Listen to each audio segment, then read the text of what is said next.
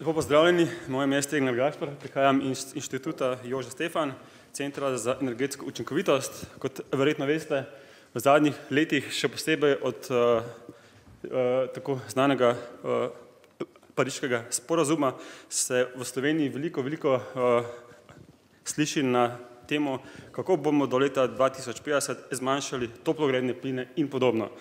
To je vse na ravni ene države. Uh, k temu k temu cilju pa veliko prispevajo lokalne skupnosti in zato smo na ISA-ju v zadnjih letih naredili en korak naprej in smo v bistvu ustvarili spletno platformo, kjer lahko spremljamo aktivnosti posamezne občine oziroma lokalne skupnosti, kaj delajo, obč kaj delajo gospodinstva, kaj delajo občine in vsi ostali, ki so uh, v eni občini, kaj delajo na temu, da zmanjšajo izpuste topogrednih plinov. In to v praksi zgleda tako, da imamo eno spletno platformo, kjer so gor vse občine in lahko uh, za posamezna, za pos, pre, v bistvu lahko preko posameznih uh, pokazalnikov vidimo, na, naprimer, koliko električnih avtov so občani kupili, kako intenzivno so se prenavljale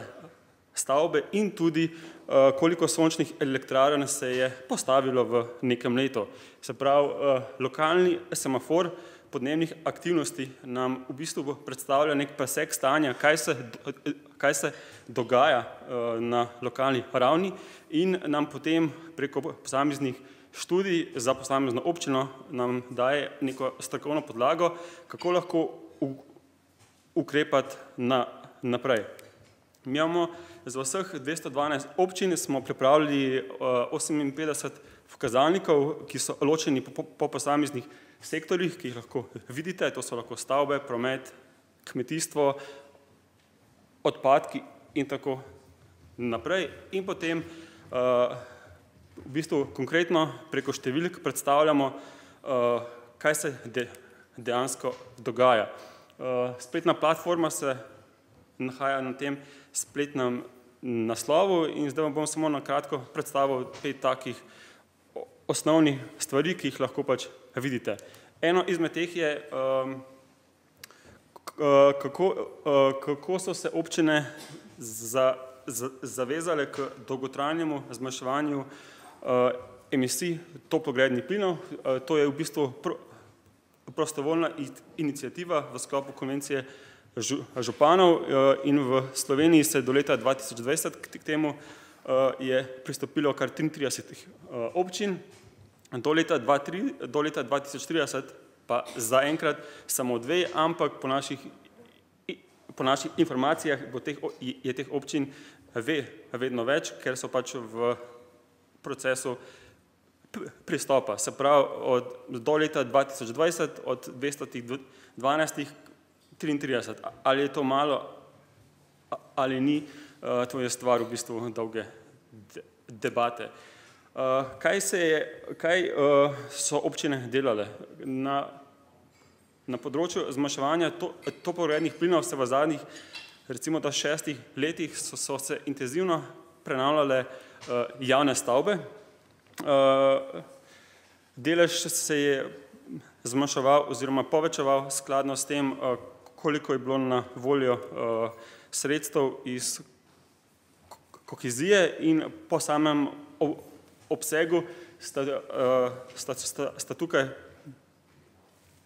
bila najbolj intenzivni, so bili v Ljubljani in v Novem mestu. Če pa primerjamo potem investicijo skladno s prihrankom, so bili pa v bistvu največji učinki v, v občini Lok Dragomer in Koper. Ter, če damo še potem to na samo velikost občine, sta v bistvu na, na prvem mestu občina Log, Dragomer in Divača. Na področju uh, v bistvu prometa uh, spremljamo tudi deleže električnih vozil in lahko po teh grafih vidite, da od leta 2015 uh, eh, ti deleži grejo strmo gor in že v letu 2018 so električni avti predstavljali v, v, poprečju od 3 do 6 procentov vseh novih, ki so bili v Sloveniji prvič re, registrirani. Uh, potem, kar se tiče na, na, naprimer uh, deleži ločeno zbranih frakcij odpadkov.